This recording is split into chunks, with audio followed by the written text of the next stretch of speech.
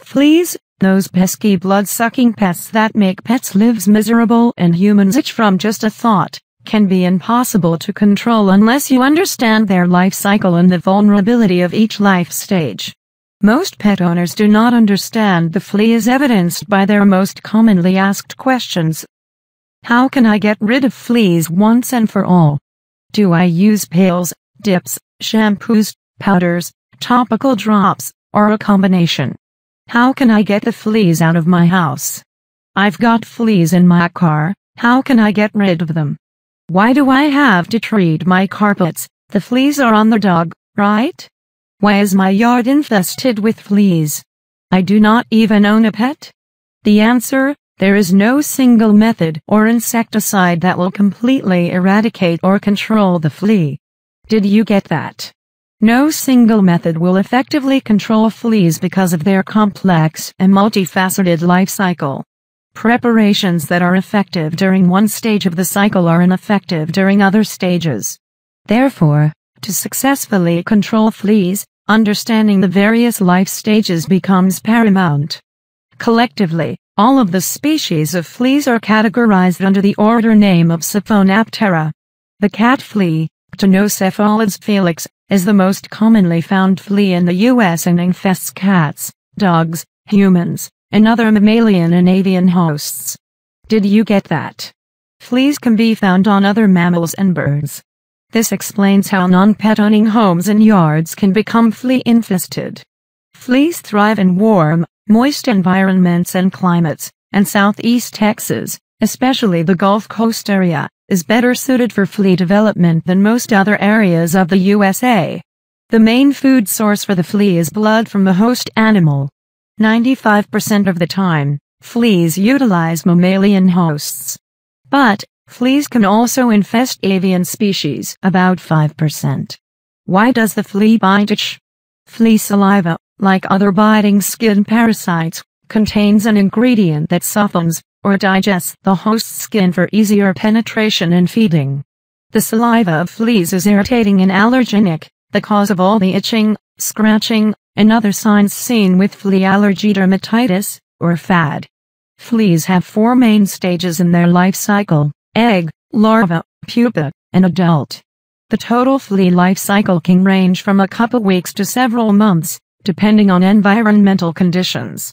The total flea population is made up of approximately 50% eggs, 30% larvae, 15% pupae, and only 5% biting adults.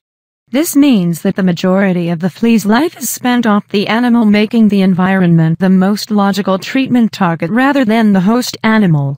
Adult, the adult flea is very flat side to side.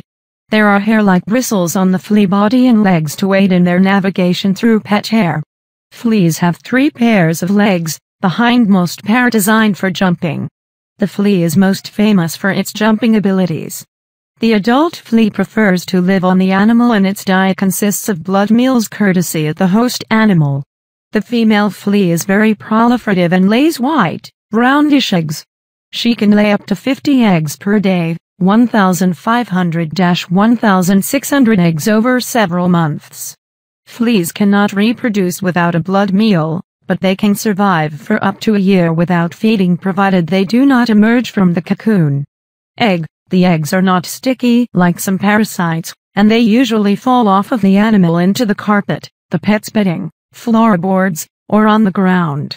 Remember, a dog carrying just 10 producing adult females can spread 15,000 to 16,000 eggs in your house over the course of a few short weeks. The point in time when the flea egg hatches will vary, anywhere from two days to a few weeks, depending on environmental conditions. The larva emerges from the egg using a chitin tooth, a hard spine on the top of the head that disappears as the flea matures. The flea egg is relatively non-susceptible to routine flea treatment programs. Larva, plural equals larvae, the larval stage is actually made up of three developmental stages.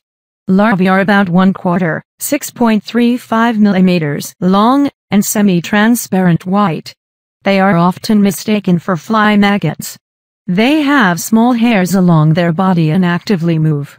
In order to survive, the larvae eat flea dirt, or the feces of adult fleas, which is mostly dried blood and other organic debris found in the carpet, bedding, soil, and even on your pet. Depending on the amount of food present and the environmental conditions, the larval stage lasts about 5 to 18 days longer in some cases than the larva spins a silken cocoon and pupates. Pupa, plural equals pupae. The pupa is the last stage before the flea becomes an adult. The adult flea can emerge from the cocoon as early as 3 to 5 days, or it can stay in the cocoon for a year or more, waiting for the right time to emerge.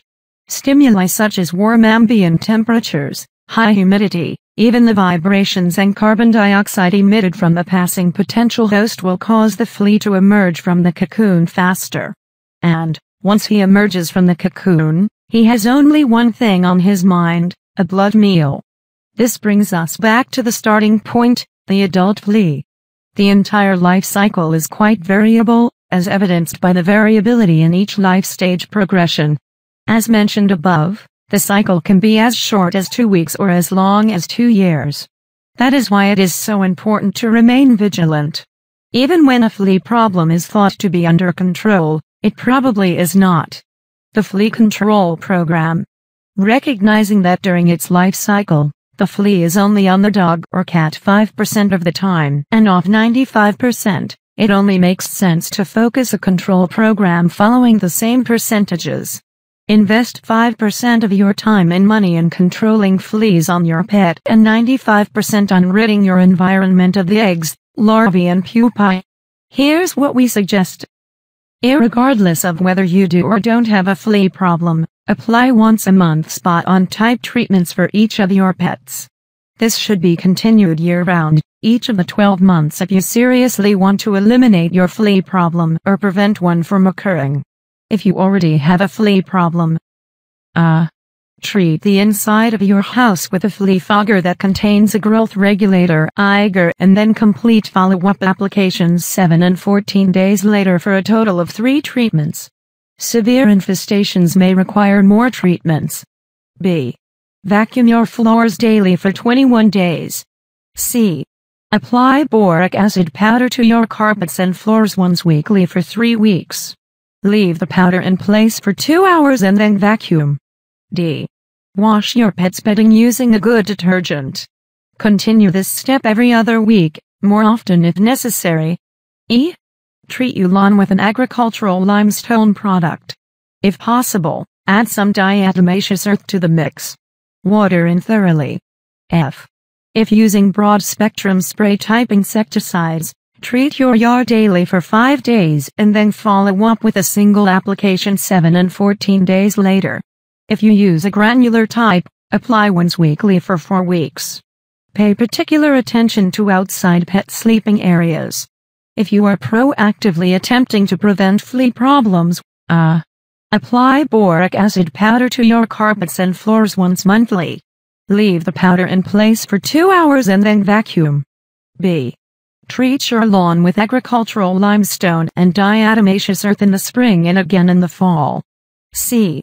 Apply a granular type broad spectrum insecticide once monthly from March through and including October.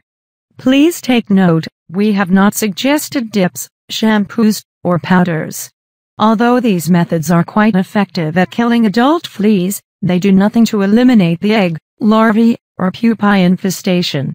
Topical sprays containing growth regulators are more effective, but again they only target 5% of the flea's life cycle. These preparations each have their place in the overall scheme of flea control and it might be best to consult your local veterinarian pest control serviceman, or your feed store's pet consultant for further suggestions.